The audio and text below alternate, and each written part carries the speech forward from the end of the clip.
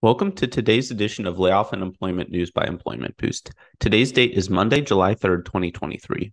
If you are an individual affected by a layoff, or if you are a company facing a reduction in force, click the link above now or in the description box below for more information about our firm's outplacement support services and how we can help you as an individual land on your feet faster and get into a new job as quickly as possible, or as an organization, how we can smooth the layoff process and assist with your reduction in force. Now, on to today's headlines.